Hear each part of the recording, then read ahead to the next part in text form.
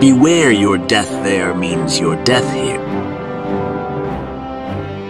You think it's the usual story. um, I don't know that, but all I know is that the story started when the hero went to bed after a long day of stress and daily problems and suddenly fell asleep.